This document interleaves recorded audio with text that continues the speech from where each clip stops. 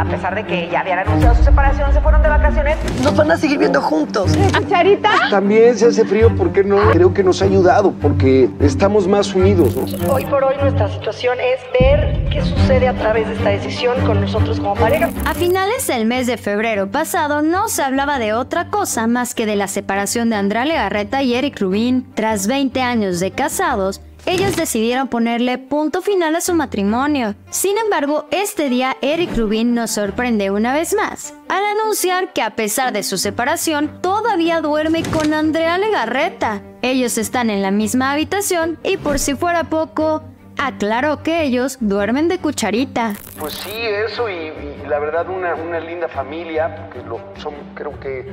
A través de una pequeña entrevista con el programa Ventaneando, el ex Timbiriche, quien forma parte de la nueva versión de la obra Vaselina, reveló que sí sigue viviendo en la misma casa que la conductora del programa hoy. Además, en esa casa están sus hijas, Mia y Nina Rubín. ¿Y vive solo? No, todavía... ¡Ay! ¡No! No. Rápidamente, Patti Chapoy, titular del programa Ventaneando, llegó a preguntarle que si acaso están viviendo en la misma casa, pero en habitaciones separadas. A lo que él claramente respondió que para qué. No me digas que sigues viviendo ahí. Me gusta porque están rompiendo el molde.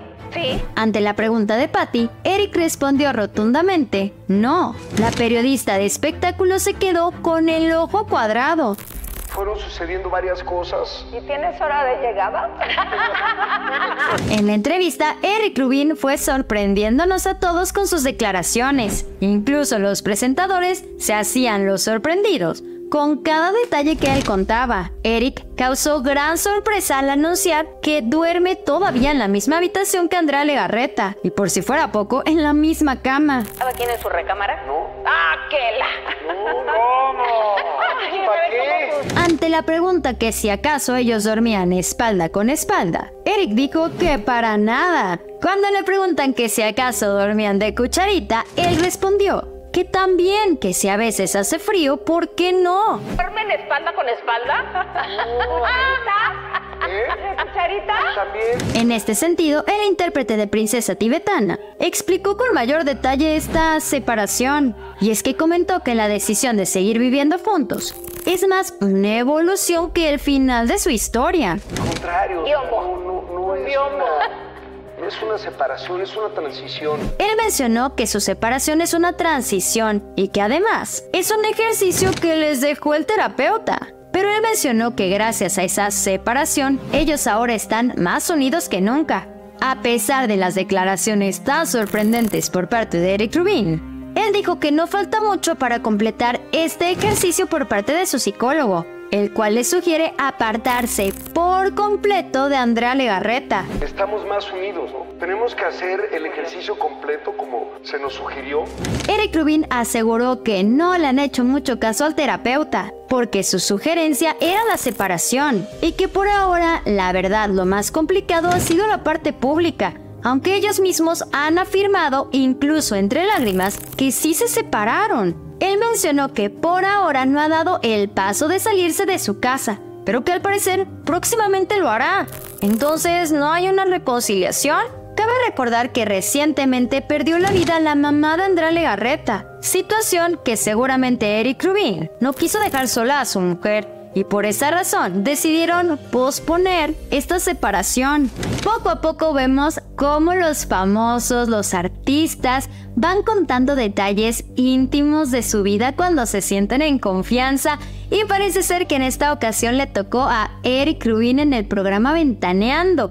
Y es que obviamente entre la plática, entre el wiri wiri de la obra de teatro de Vaselina, de cómo va, Recordemos que en esta producción también está trabajando Andrea Legarreta como uno de los personajes principales. Entonces le dicen a Eric, oye, ¿cómo sientes trabajar con tu ex, que se ven y no se ven? Y ahí es cuando se revela que estos dos tal cual siguen viviendo en la misma casa, que siguen durmiendo en la misma recámara, por si esto no fuera suficiente, en la misma cama y de cucharita. Unas palabras que dejaron atónitos no solo a los espectadores, sino también a los ahí presentes con Eric Rubin, porque ellos no se esperaban esto. La cosa es que en febrero Eric y Andrea Legarreta anuncian su separación, dicen que pues su matrimonio está en un proceso donde tienen que ver si están mejor juntos, si están mejor separados y qué mejor manera de ver esto que separarse. Y ahí es cuando vimos a un Andrea Legarreta triste, desolada, o sea, sí se veía mal cuando ella hablaba de esta separación y de repente ahorita Eric Rubin dice que en realidad no se separaron. La cosa generó mucha, mucha expectativa cuando le preguntan que si ellos viven, eh, duermen en camas separadas y Eric responde no, ¿pa' qué? Y pues él, él sí ha expresado que tenía ganas de reconquistar a Andrea Legarreta, que no se iba a divorciar, que esa separación iba a ser nada más momentánea, pero parece ser que esta separación ni siquiera ha empezado. Y es que cuando le preguntan que si ellos no solamente duermen juntos, que si se abrazan, que si duermen de cucharita y demás, Eric Rubin afirma también si hace frío, ¿por qué no? Y ahí vemos que las cosas en realidad no son lo que parecen. Esto estamos hablando desde el mes de febrero que ellos anuncian su separación hasta esta ya mucho más de la mitad del año. Ya estamos casi a que llegue la Navidad, ya los centros comerciales están a nada de poner el arbolito y nos vamos enterando que esta separación apenas se va a llevar a cabo. Es importante mencionar que hace algunas semanas se da a conocer que la mamá de Andrea Legarreta tristemente pierde la vida y tal vez por eso Eric Rubin tampoco quiere dejarla sola, tampoco quiere tomar ese paso de la separación y empezar este proceso que les recomendaron entonces él afirma que siguen viviendo juntos en la misma casa, están en la misma recámara, duermen en la misma cama y que siguen siendo una familia feliz, que ahí están Mía y Nina Rubín, sus hijas, y que ellos se van a trabajar, que cada quien hace su vida por separado, pero eso lo hacían también cuando estaban casados. Y lo cierto es que en esta ocasión, en esta entrevista, Eric platica no es una separación, es una transición y es un ejercicio que creo que nos ha ayudado porque estamos más unidos. Como que esta separación más bien fue como una advertencia, como un cáliz tal vez. Tal vez se separaron dos, tres días y dijeron, ¿sabes qué, cochurrumino, cochurrumina? Venga, chepaca, te extraño, extraño tu calor o algo. Porque Eric Rubin afirma que todavía no se ha ido de la casa, que él no se ha ido en ningún momento. Entonces febrero, marzo, abril, mayo, junio, julio, agosto, septiembre.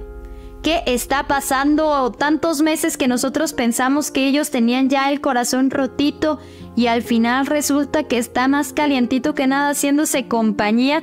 ¿Ustedes qué opinan? Platíquenme en los comentarios qué piensan, qué sienten.